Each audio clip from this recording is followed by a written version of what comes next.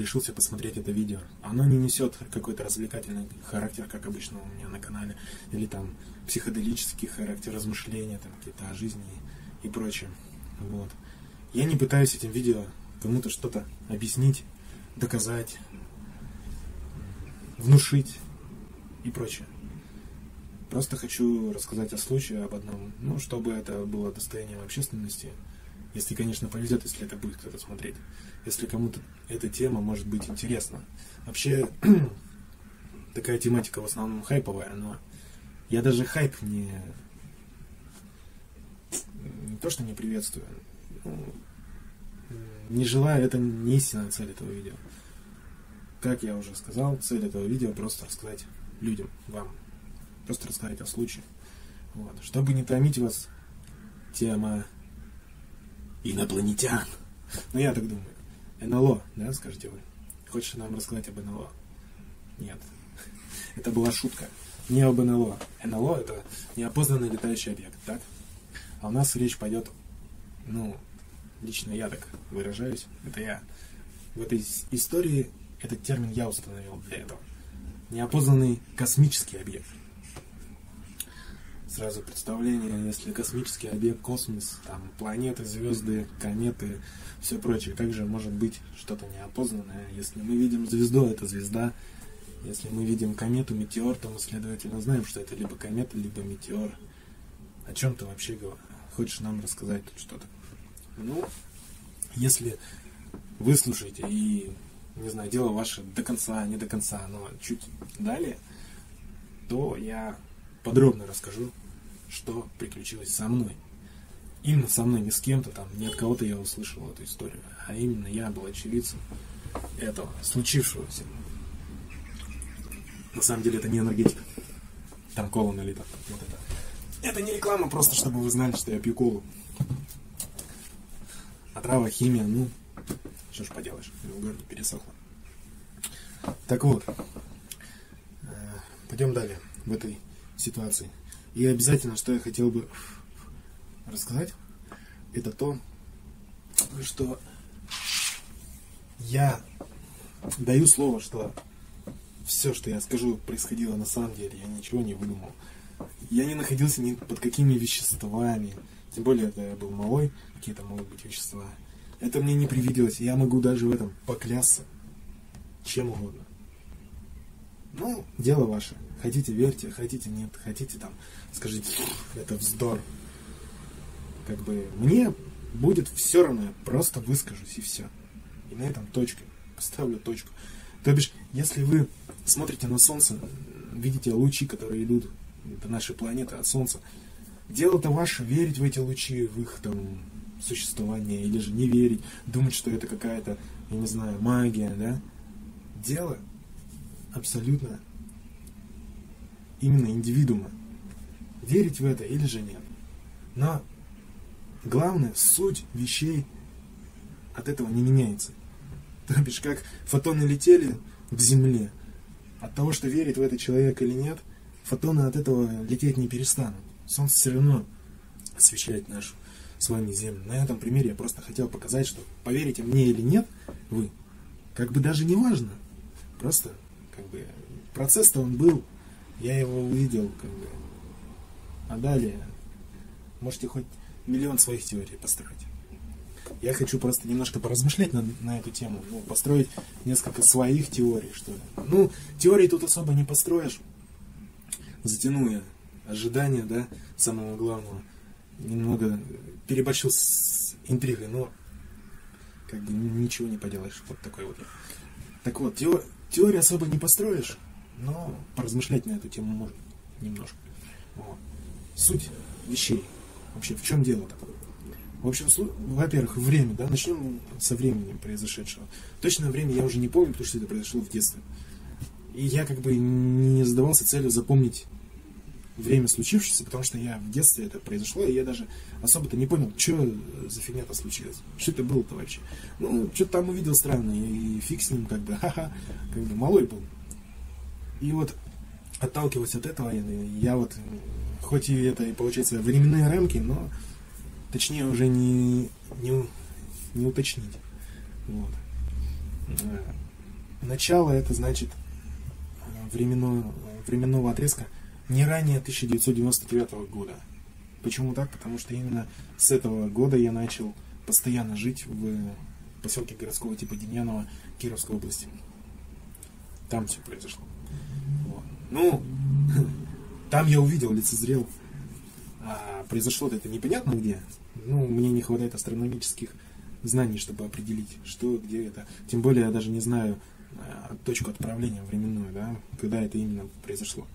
Один мой знакомый сказал, что если знать точное время и место, где ты это видишь, как бы неважно, что этот момент прошел, астрономы ну, постоянно смотрят, там, ведут наблюдения, могут вычислить и как-то подтвердить, может кто-то записывает записывал в то время участок неба, вот, космического пространства. Так вот, точного времени не знаю, но от начала, да, я уже сказал, 99-й получается год. А по какой интервал, ну тут уже точно неизвестно. Но, во всяком случае, мне кажется, физика в школе еще не началась, потому что я хоть что-то бы смутно бы представлял о том, что происходит. Потому что раньше вместе с физикой там когда-то и астрономия шла, но при мне астрономии уж точно не было. Но все равно там всякие процессы, э, процессы все-таки всякие рассматривают. И что-то я мог бы заподозрить, но я ничего не заподозрил. Просто, ну, вау, прикольно, все. Но это я сейчас так осознаю, тогда я даже уже не помню, что я тогда испытал. В общем, э, физики, наверное, не было. Ну, допускаю, что с 99 нужно прибавить 3-4 года. Хотя, если прибавить 4, наверное, физика уже начнется. Но значит, по 2002 ориентировочно. Почему ориентировочно? Потому что я говорю, что я точно не знаю. В общем, в этом промежутке времени, когда я был малой, в 99-м мне было 9 лет,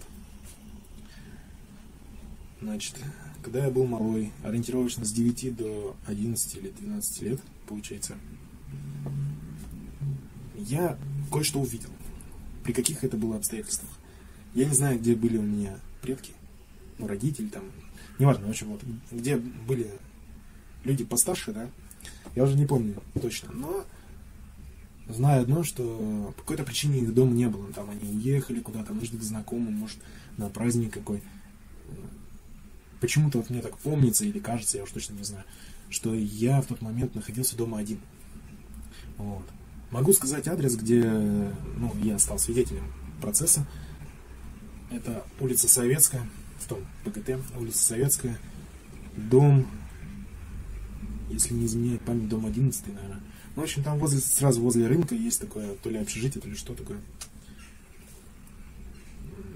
Как этот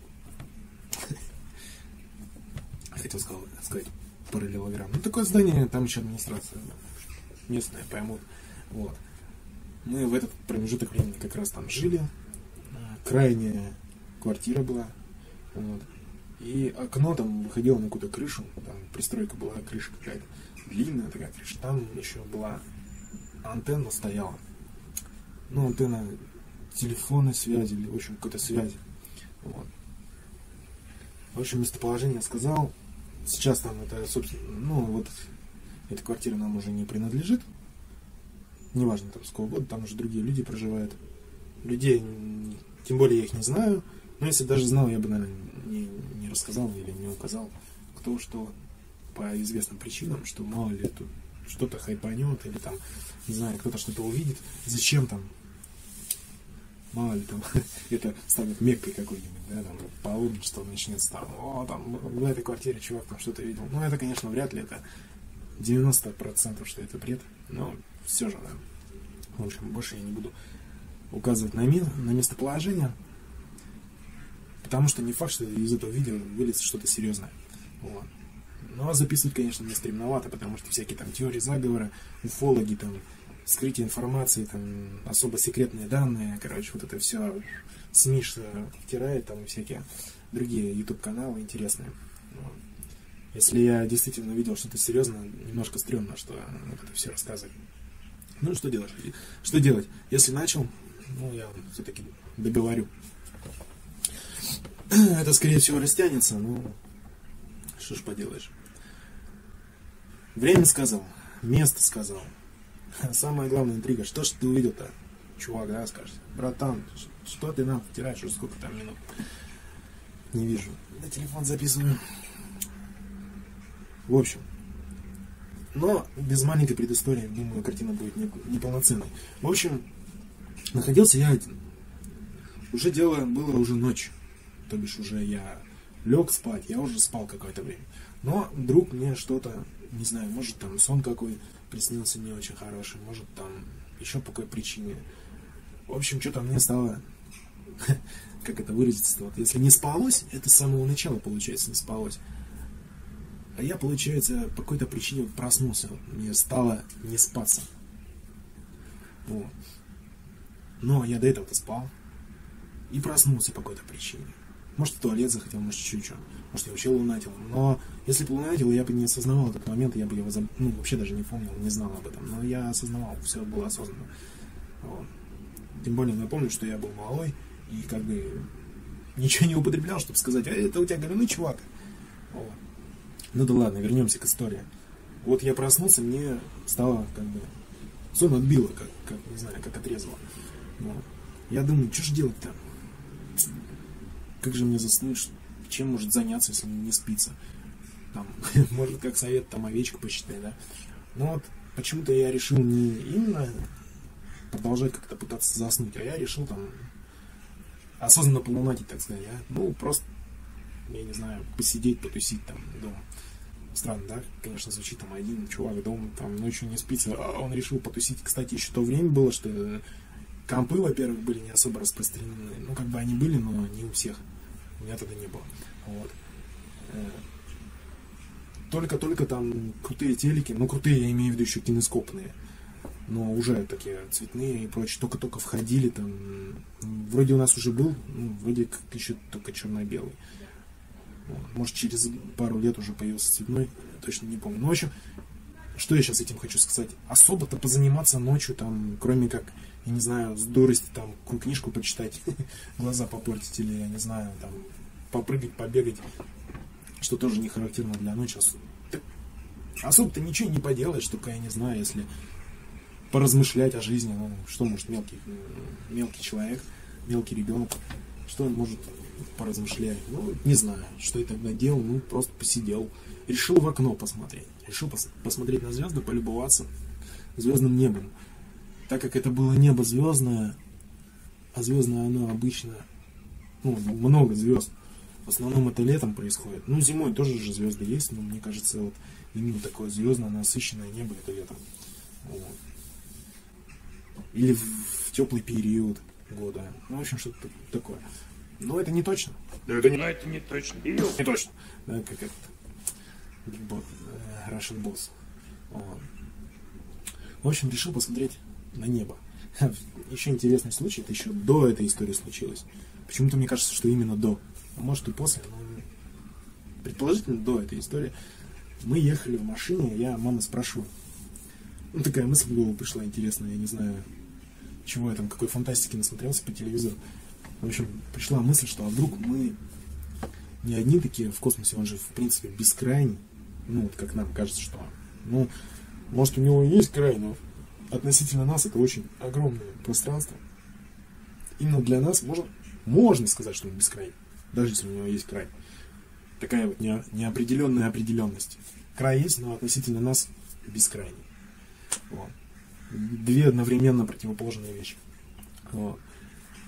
Я спрашиваю, а представляешь, если там, он же бескрайний, мало ли где-то еще есть, точно так же, как и наша планета, там, ну, распределились вот так вот эти самые условия, то все дела, может там тоже кто-то есть, кто-то живет, и сейчас смотрит оттуда на нас, на что она сказала. Я уж точно не помню, цитировать не буду, но смысл такой, что успокойся, сынок, это бред, короче, не заморачивайся, даже не думай об этом, это мысль ни о чем. Вот. Это, не, это не цитирование, это общий смысл фразы той. Вот. Какой я получил ответ. Для чего это я рассказал? Прикол в том, что я вот спрашивал вот такие вещи. Но не, я точно не помню, до или после этого случая. А потом получается, случай произошел. Вот то, что я увидел. Так вот, сижу я, смотрю это окно на небо, на звездное. То есть там было много звезд. И думаю такой, а неплохо было бы, если бы сейчас увидеть комету, ну, их еще называют падающие звезды, ну, вот, которые летают так, короткий промежуток времени, так, хлоп, и все, и погасло. Пролетело так, буквально, быстро-быстро. Я знал, что есть такое, ну, или поверье, или просто у людей привычка, что ли, такая. Увидел падающую звезду, можно загадать желание, вдруг сбудется. Ну или вообще должно сбыться, по поверью, поэтому. Вот. Ну вот сижу я такое в детстве, смотрю на это небо, и мне хочется увидеть звезду падающую. И вуаля! Я вижу ее. Представляете, я вот вижу, летит звезда, но причем она летит не так, как комета, не так, как падающая звезда. Хлоп, буквально какое-то мгновение, доли секунды там, может секунду, и все, и исчезла. А она летит. Ну, правда, со скоростью, как вот эта штука, но хотя чуть меньше, чтобы не собрать чуть меньше, потому что она как бы все равно двигалась по небосводу. Не так, что мелькнула и все, двигалась. Мне стало интересно. Э, опять же, точно утверждать не могу, но, скорее всего, я мог уже в то время судить, что это мог быть самолет. То есть такие познания уже были, я не совсем был идиотом. Поэтому, мне кажется, поэтому мне стало интересно. Я смотрю на нее, она так, ну, как на пальцах, конечно, сложно показать. У меня не столько много знаний, чтобы я сейчас смонтировал красивую картинку, хотя в, теоретич, в теории, теоретически это все можно, конечно, было сделать, можно было подготовиться, изучить там всякие э, фотошопы, 3D Max, всякие там эти плееры, видеоредакторы. Ну, видеоредакторы, ладно, я еще могу делать. Может, даже что-то сделаю там. Может, будет видео, где... Или было уже видео, где я там сделаю вот этот поселок. Может, будет... Может, вставлю видео из GTA. Ну, GTA, я считаю, это, конечно, как игра. 3D-игра, это бесспорно, но это своего рода симуляция жизни. То есть перенос нашей с вами жизни в вот этот 3D мир, 3D измерение компьютерное. Вот. Пускай там можно делать все, что только пожелаешь, там все дозволено, но это все равно своего рода симуляция. Там физика объектов и вообще физика мира присутствует. То есть и за основу там взят наш с вами реальный мир. Поэтому я могу, ну, скорее всего, сделаю, у меня уже заготовлено. Сама идея этого видео уже была давно, но все никак не мог начать, там, заснять.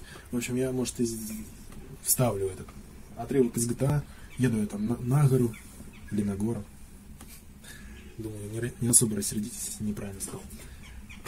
Еду на мотоцикле, ездил я на таком мотоцикле в свое время. Вот. У меня был Юпитер. Вот, тоже на мотоцикле там Тревором. За Тревора играю. Еду как раз тоже, чтобы посмотреть вот это звездное небо, мнение личное. Очень хорошо смоделировано.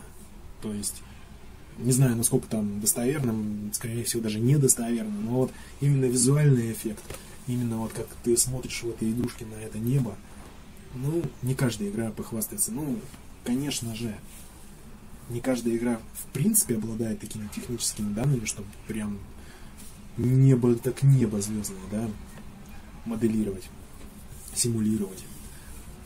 Вот Far Cry 5 отличное небо, на мой взгляд, звездное. До этого было Fallout 4, тоже великолепное, звездное ночное небо.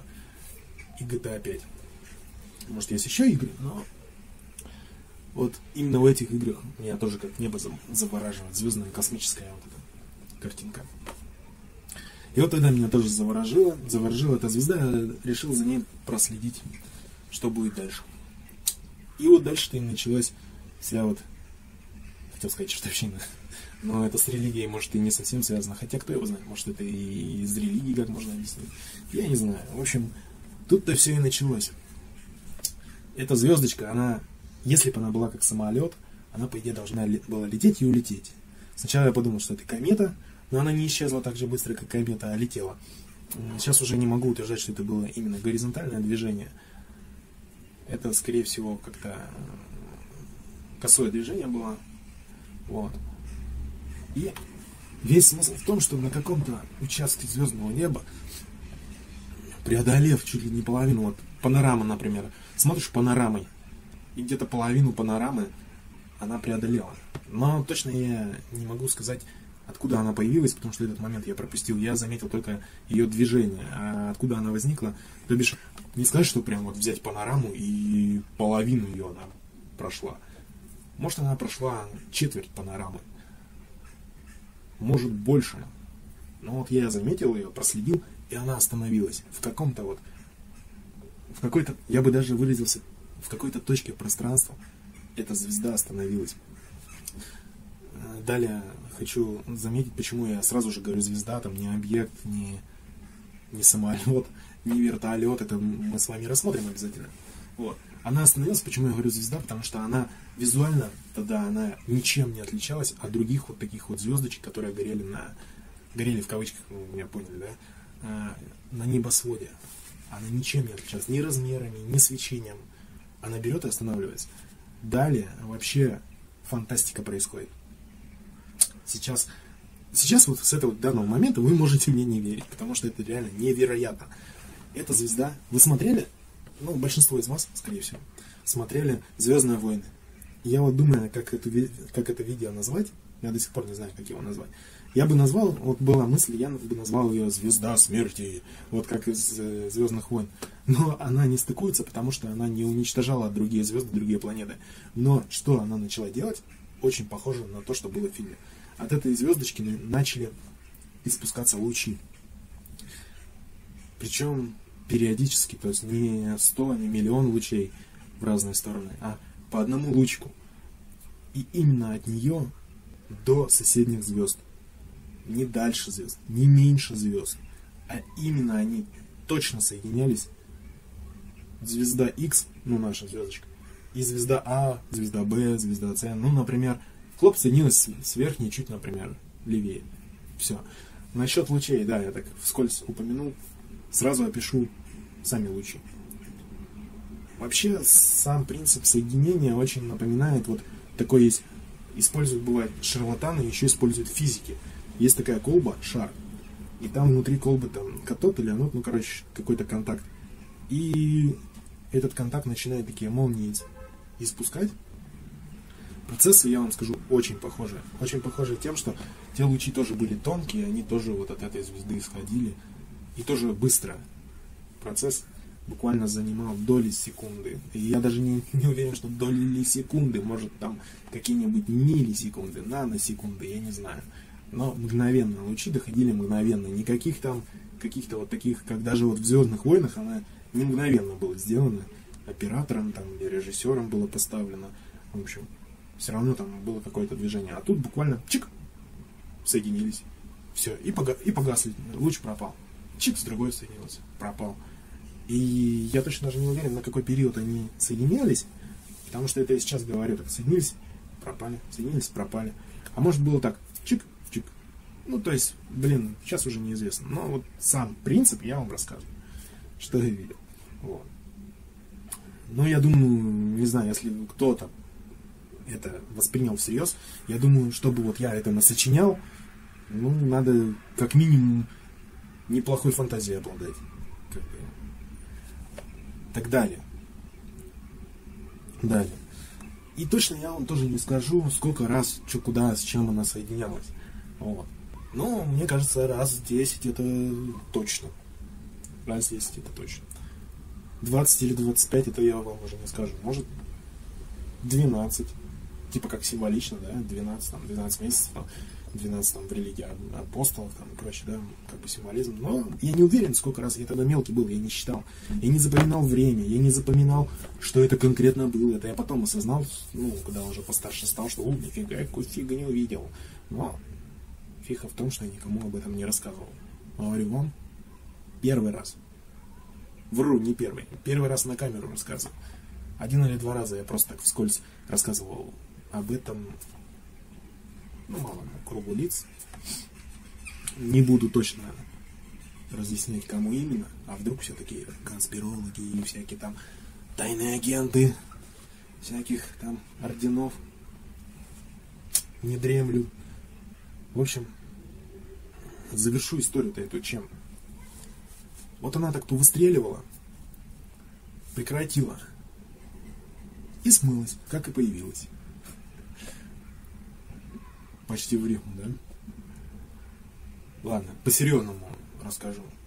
Все прекратилось, она чуть-чуть вот так повисела, и опять полетела, но исчезла, можно сказать, быстрее, чем появилась. То есть буквально начала движение, куда-то там перелетела, и я как бы потерял ее из виду.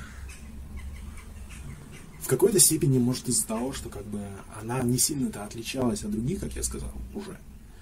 И поэтому, когда их множество, этих звезд, это когда вот она творила непонятное, тогда да, тогда ты именно знаешь, что это она. А когда она просто вот улетает, тогда, ты, тогда было уже сложно прям всматриваться, что происходит-то. Даже она заметнее была, когда вот именно подлетала туда, на свое место. Вот это. Ну, собственно, это весь случай. А теперь, как я и говорил, хочу в режиме монолога, ну, предугадаю несколько вариантов ваших догадок, не обязательно именно ваших, может, чьих-то других, но обязательно такие варианты могут возникнуть.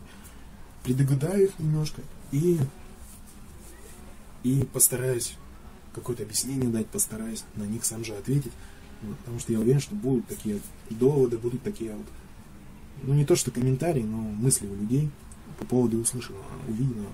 Вот. Самое первое стандартное это то, о чем нам даже с экранов кино говорят в таких случаях. Почему я говорю в таких случаях? Потому что что это, мать его, вообще такое было, да? Можно ответить немногочисленными вариантами, немногочисленными понятиями. Можно предположить, а, что это было человечески рукотворное, то есть это какая-то секретная технология наша. Не наша с вами, а тех, кто только это знает, секретная. Это А. Б. Можно предположить, что это было присутствие инопланетян. То, что я увидел НЛО. НЛО. Это Б. С. Кстати, к этому НЛО можно подписать там наиболее развитую расу, которая там существует где-то на другой стороне галактики, а нас просто пролетает, ну так, типа как мимо, попутчики там какие. Вот, это все в НЛО записывается. А С С это какое-то космическое явление, ну, ну, неодушевленно, так скажем. То есть, ну, вот так вот сложилось, там, я не знаю, зонд летел, там что-то отражалось от него. Вот. И самое, на мой взгляд, маловероятное, А, Б, С, Д, скажем, Д, самое маловероятное, на мой взгляд, это просто какое-то стечение обстоятельств, то есть мне там что-то привиделось, там, преломление лучей. Так вот, я, на, я больше всего из этих вариантов склоняюсь к, ну, не будем лукать, НЛО. А, есть еще, кроме Д, еще какую-то циферку подставьте, там, буковку, я не знаю, по, по латыни считал, что там дальше идет.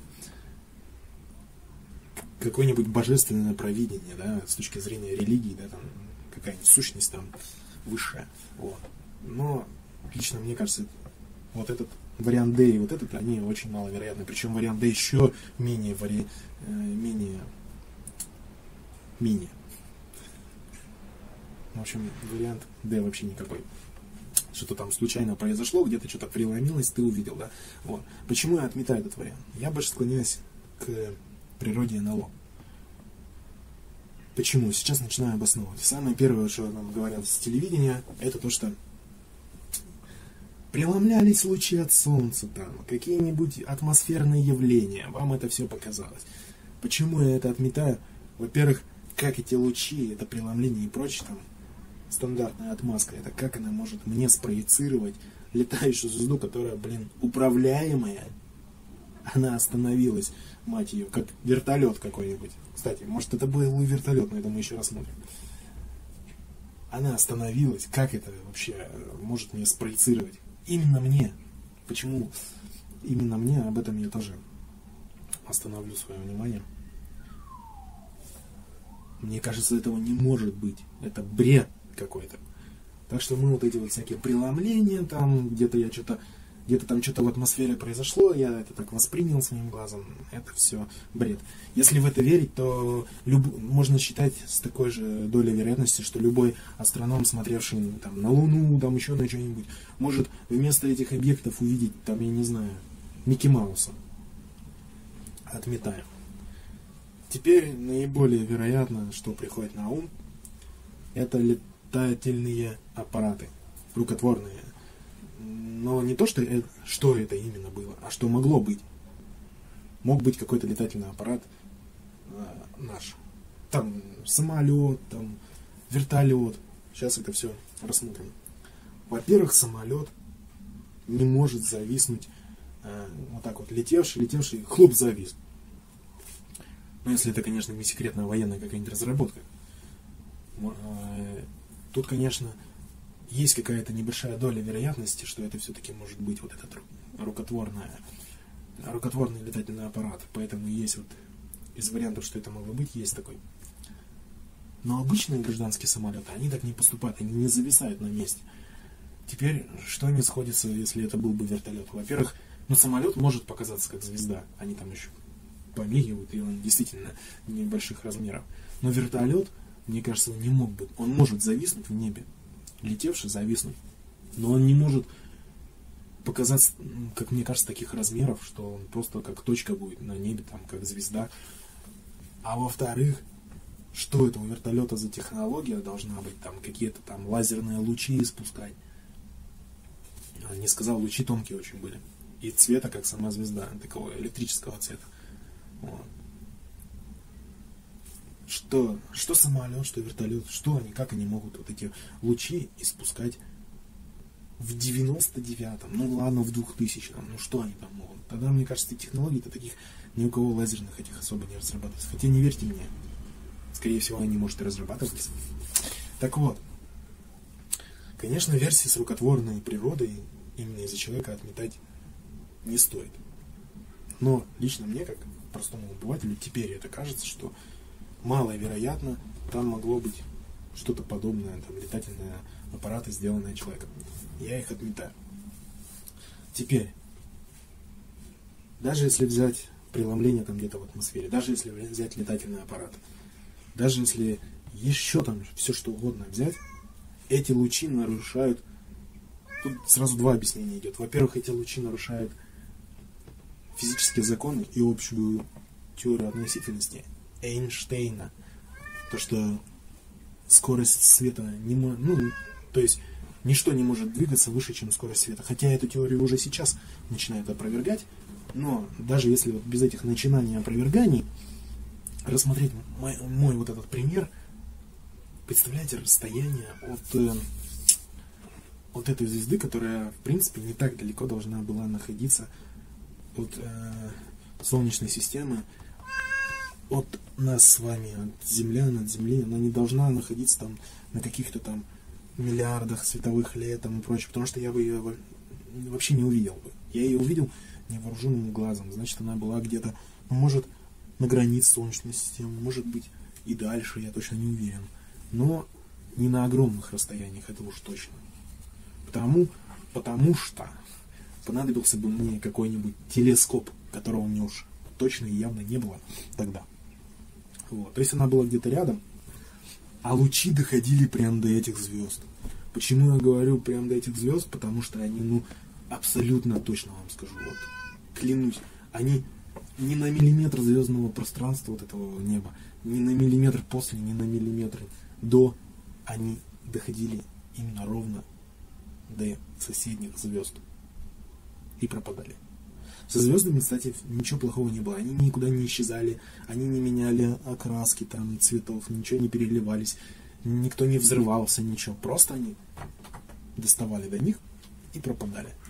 Но вот сам процесс вот этого соединения, если рассмотреть, что соединение было физическим, то есть какой-то непонятный источник, я даже не уверен, что это был свет, потому что свет, даже если он идет с какой-то конечной скоростью 300 что там за цифра такая, Филя, ты знаешь? 300 миллионов вроде километров в секунду, или сколько там, 300 тысяч километров в секунду. Короче, даже, ну, для нас с вами, людей, эта скорость просто дико огромная. Нам не светит летать на таких скоростях, но вот даже если свет летает, то он космическое пространство, даже свет, не может, к примеру, пролететь мгновенно. Даже с такой огромной скоростью. Из тех же самых уроков там всякой физики и прочее я знаю, что от самой ближайшей после Солнца к нам звезды свет, со своей скоростью свет, думайте, идет 4 года, ну, примерно, может, точно 4 года. Погуглите. Вот. 4 года, представьте. А тут мгновенно было, ну, мы, конечно, точно с вами не знаем, именно какие там были расстояния. Может, там были мельчайшие расстояния. Но я не думаю, что звезда, которая была где-то примерно рядом с Солнечной системой, а может быть и в ней, а может быть на краю, может быть чуть дальше. Но все равно до других звезд, я думаю, расстояние о Короче, большие. А луч преодолевал их мгновенно. Это если судить, что он был физически вот такой непрерывный и от и до. Он нарушал законы физики. Он, получается, обладал скоростью намного превышающей скорость света, причем на какие-то порядки. Это должно быть. Это порядком должно превышать на порядки. Вот. Теперь, еще не стыковочка. Вот, и вот из этих преломлений, там, что, типа, они не достигали, от звезды до звезды ничего не достигало, это там, это тебе казалось, э, лучи были, не соединяли звезды, это тебе показалось, да? Опровержение данной теории. Чтобы мне показалось, именно мне показалось, это вся система, по идее, выходит, что она должна была быть настроена под меня. То бишь, чуваки, ну, это же управляемый процесс, значит, там предположительно кто-то был. То есть, э, вот этой штуковиной кто-то управлял. И выходит, чтобы вот так вот непонятно что-то сделать, повыстреливать лучами, чтобы мне показалось, что они доходили от звезды до звезды, эти чуваки должны были знать, что я там где-то далеко-далеко не сплю, сижу, смотрю на них, короче, наблюдаю. Я должен быть неотъемлемой частью этой системы, и система должна была быть настроена на меня, как на наблюдателя. То есть вы сами прекрасно знаете, что чтобы там сделать, что у тебя на солнышко, что солнышко в руке находится там, или какая-нибудь Пизанская башня, там, ты ее там держишь, подпираешь, не, недостаточно в любом рандомном месте встать, там что-то там руки выставить. То есть это надо и руки определенные, определенным образом выставить, это надо и в определенном месте встать от наблюдающего, от того, кто делает фотографию. И получается, вот этот кто делает фотографию, это был я. И система вот эта вся должна была подстраиваться. Но мне кажется, вряд ли что-то там где-то что-то подстраивалось под того, кто там под какого-то мизерного людишку, человечешку. Вот. Из, из миллиарда людей там кого-то выбрали. Чтобы чувак решил, что там что-то прикольное происходит в небе, мы должны действовать именно так. Мне кажется, такого не было. А было как раз таки наоборот. И поэтому это нельзя рассматривать как голограмма, а если а выходит, что если я видел, что от объекта луч достигал до объекта, то это так и было в реальности. Это не было какой-то там подстройкой, голограммой там какой-то и прочей херотней. То есть все было так, как я видел. Выходит. Но если выходит это так, то мы имеем нарушение законов физики, физических законов. Привет Эйнштейну. Мы имеем какую-то технологию, я не знаю, какого-то там космолета, который в, в, выходит как звезда, да, внешне, и умеет там останавливаться, там, лететь куда ему вздумается, преодолевать огромное расстояние. Вот. В общем, слишком много неувязочек. Я до сих пор не знаю, что это конкретно было. Я просто рассказал вам, а решать вам каждому по отдельности, как индивидууму. Что же это было такое? Может, это был бред, может, это мне показалось. Но я так не считаю. А как считаете вы, это ваше сугубо личное дело. Спасибо, кто все-таки досмотрел до этой минуты. Огромное вам спасибо, что выслушали. Я пытался стараться. Всем удачи, всем пока.